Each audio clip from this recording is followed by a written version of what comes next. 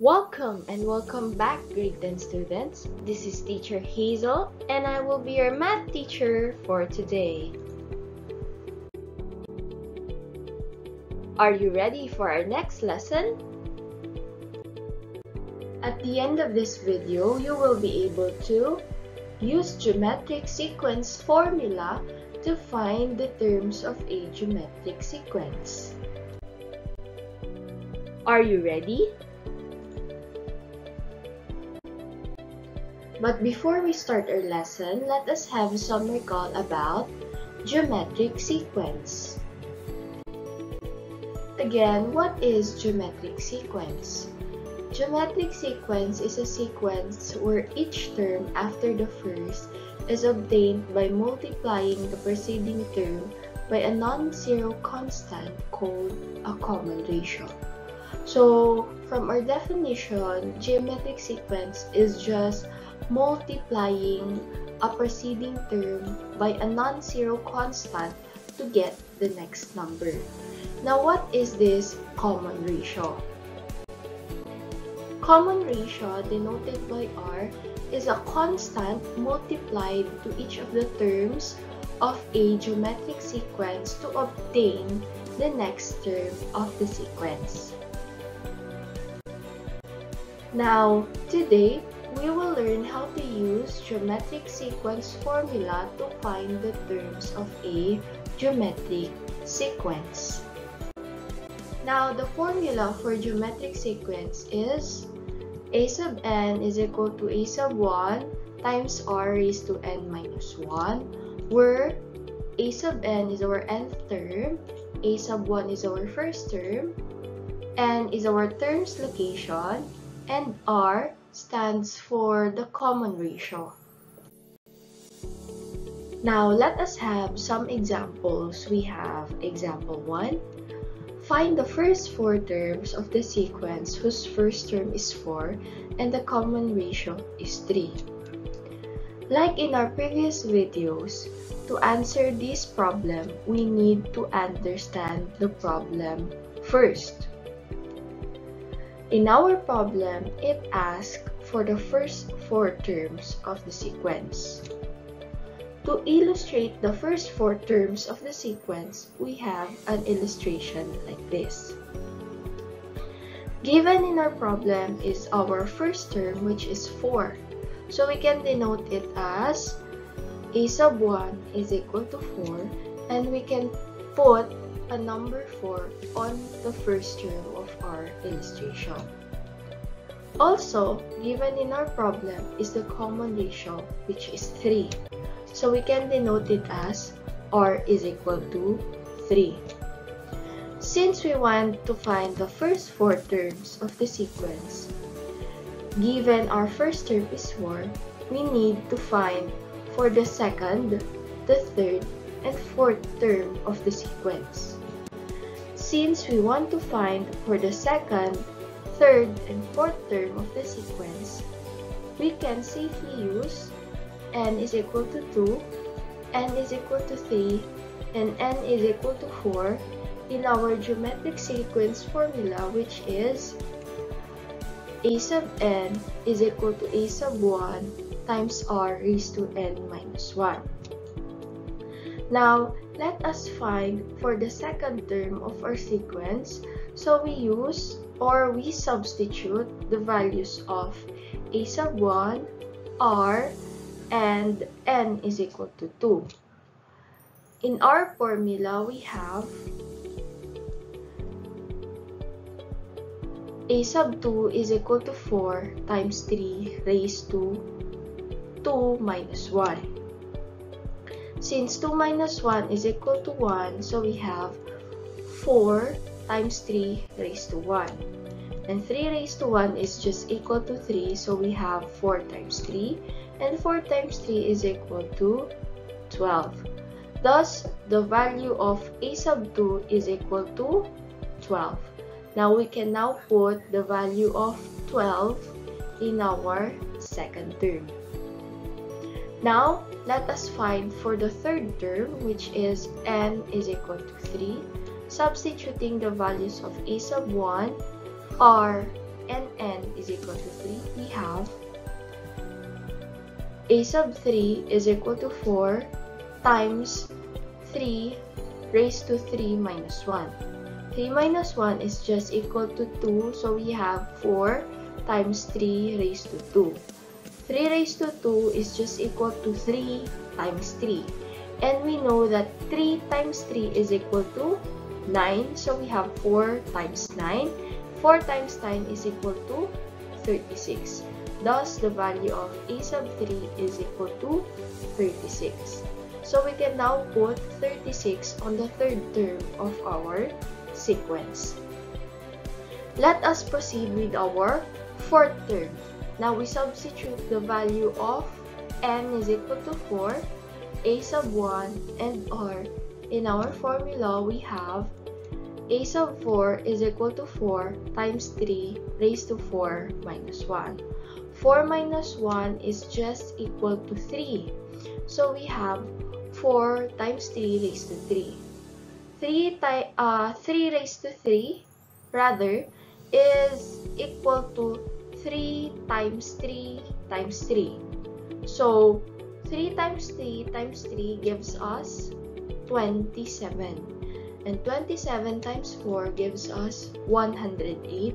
Plus we have the value of a sub 4 is equal to 108.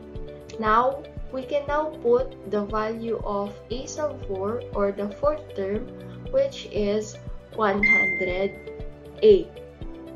Thus, the first four terms of the sequence whose first term is 4 and the common ratio is 3 is 4, 12, 36, and 108. Now let us have example 2. We have Find the common ratio in the sequence 8 with 3 geometric mean and 128. To answer this problem, we must understand the problem first. As mentioned in our previous video and as mentioned in our previous slide. In our problem, it asks for the common ratio given that the first term is 8 and the fifth term is 128.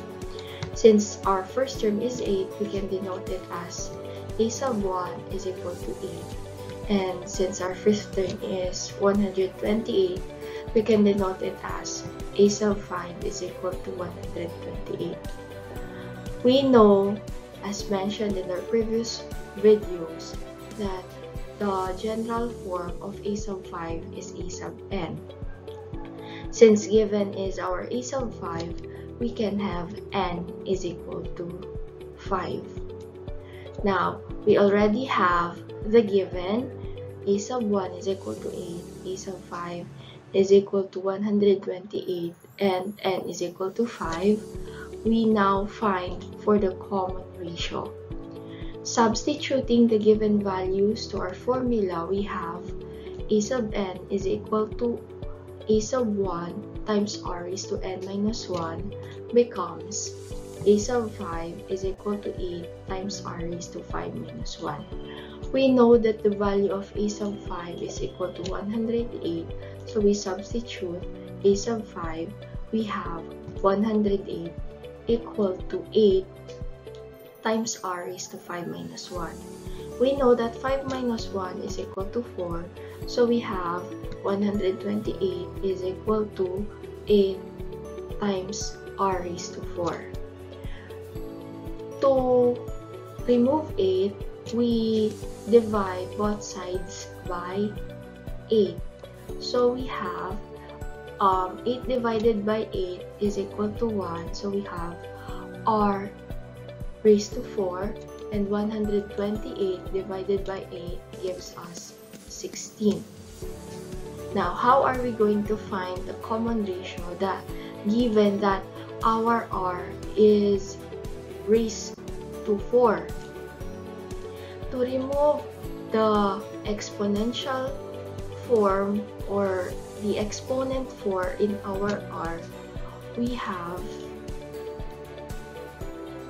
r raised to 4 is equal to 2 raised to 4.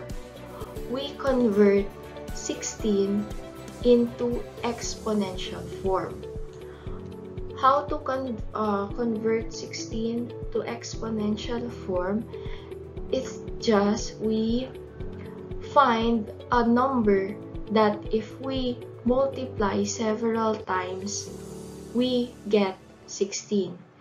And we arrive at 2 raised to 4 because 2 times 2 times 2 times 2 gives us 16.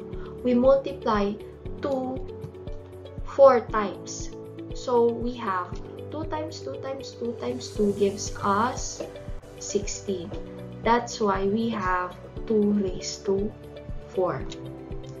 Now, since we have the same exponents, we now have r is equal to 2. Thus, the common ratio in the sequence is 2. Now let us have example 3. Give the common ratio and write the next term of this geometric sequence 3, 12, 48, and so on. Now, to get the common ratio and the next term of the sequence, we illustrate the problem. We have 3, 12, 48, and an unknown number here or the next term of the sequence. Now, by definition of common ratio, common ratio is just a constant multiplied to each of the terms of a geometric sequence to get the next term. Now, if we want to get the common ratio of the sequence, we divide any term by its preceding term. We have this one. 12 divided by 3. Now, if we have 12 divided by 3, we know that 12 divided by 3 is just equal to 4. Now, let us divide 48 by 12. We have 48 divided by 12 and 48 divided by 12 gives us 4. Thus, the ratio between any term by its preceding term is just 4. Hence, the common ratio is 4. So, we now have the common ratio. Now, let us find for the next term of the geometric sequence. To find the next term of the geometric sequence, we multiply the common ratio by 48. So we have 48 times 4 and 48 times 4 gives us 192.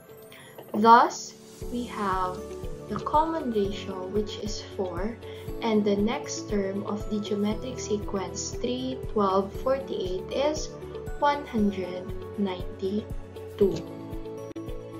Now, do you have any questions? I would love to read your questions on the comment section below.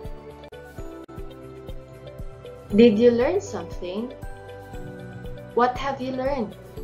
I would love to read what you have learned on the comment section below. That's it!